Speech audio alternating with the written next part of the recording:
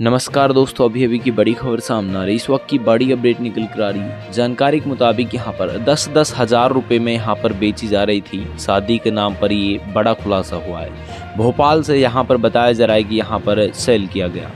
यहाँ पर मध्य प्रदेश के नीमच, मंदसौर, रतलाम के तकरीबन अड़सठ गाँव में बताया जा रहा है कि युवतियाँ मौजूद थी और खरीद फरोख्त का धंधा फल फूल रहा था। यहाँ पर लगातार त्यौहार को भी संचालित किया जा रहा था। फ़िलहाल पुलिस ने बताया कि यहाँ पर दस और बारह हज़ार रुपये में सेल की जाती है। फ़िलहाल जानकारी के मुताबिक पुलिस प्रशासन मौके पर पहुंचकर सभी को गिरफ़्तार कर लिया, जाँच की जा रही है। दो महिला दो दो लाख रुपए में और बच्चियों को बताया जा रहा है करीब दस से बारह हज़ार की कीमत बताया जा रहा है। इसी बीच पुलिस तकरीबन टीम के साथ मौके पर पहुँची और पंद्रह से बीस को भी हिरासत में ले लिया।